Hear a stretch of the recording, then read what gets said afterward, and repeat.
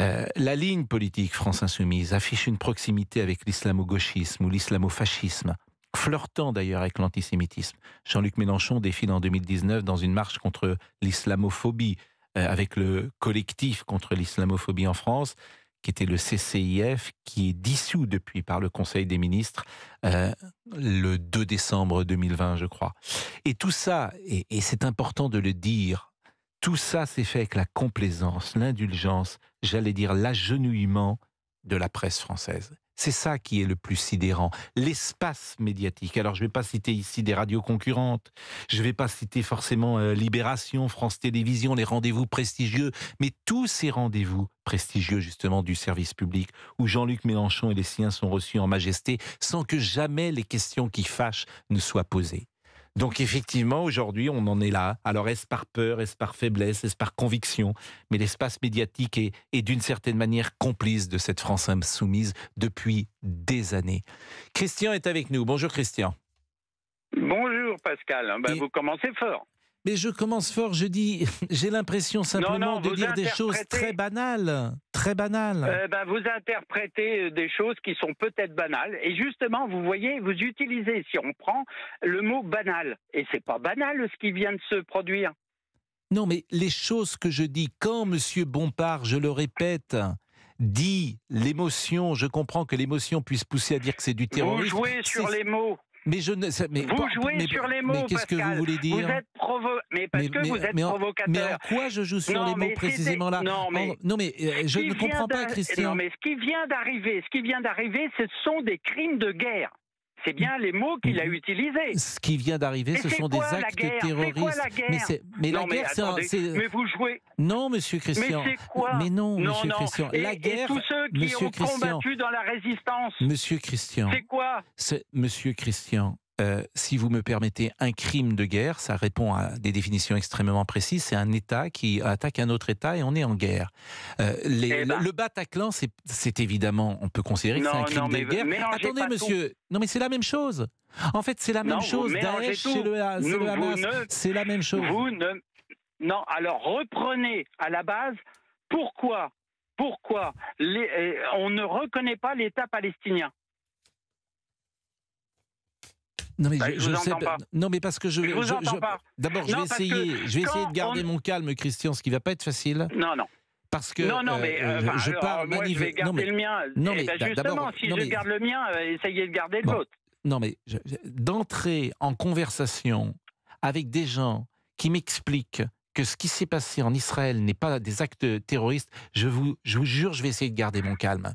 Je vais essayer de le garder. Eh ben, mais ça va eh pas être ben, eh facile. Ben, Christian euh, représente la France insoumise et voulait défendre la position de la France insoumise qui ne parle pas d'actes terroristes. Alors comme on avait un échange il y a une seconde et que je pense qu'en fait tout dialogue est impossible, ce que je vais faire Christian, c'est que vous allez expliquer votre sentiment et moi je vais pas vous interrompre parce que d'abord c'est pas agréable pour l'auditeur parce que c'est deux voix qui se chevauchent l'une sur l'autre et puis euh, mes arguments vous ne les entendrez pas donc euh, ça ne sert à rien. Donc je vous propose de vous donner euh, le temps que vous souhaitez, si vous voulez une trente, pour expliquer votre, votre argumentaire et je n'interviendrai pas. C'est à vous, Christian.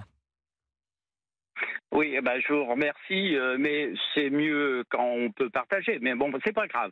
Euh, ce que je veux vous dire, à la France insoumise, nous cautionnons surtout pas tout ce qui s'est passé dans l'État d'Israël qu'on ça soit bien clair. On n'est pas là pour s'envoyer des mots qui invectivent tout le monde. Aujourd'hui, ces crimes sont à considérer comme des crimes de guerre. Alors, vous me dites, mais oui, mais c'est un État contre un État. Mais revenez un peu en arrière. Pourquoi la Palestine euh, n'est pas reconnue comme État? Mais voilà, c'est ça le, début. Alors quand on oppresse une population, eh bien, ce qui se passe, c'est que on amène cette folie, cette folie, parce que c'est de la folie. Je vous ai bien dit que je ne cautionnais pas. Et ce qui a été fait, c'est horrible. C'est horrible. Mais je, je le conçois et j'en ai la peine. Mais je me dis qu'aujourd'hui, on a fermé les yeux devant une population qu'on oppressait pendant des mois, voire des années. Bon, je ne vais pas vous répondre parce que vraiment, je, tout ce que vous dites n'est pas juste. Je rappelle que. Ah bon euh, Elle n'est pas juste. Non, mais non, mais non, les territoires ont été rendus. Les territoires ont été rendus. Donc euh, tout, tout ça n'est pas juste. Pourquoi l'État de la Palestine n'est pas reconnu? Non, mais je veux dire, euh, Israël mais, mais vous ne me répondez pas, vous savez pas me répondre. Israël a tenté.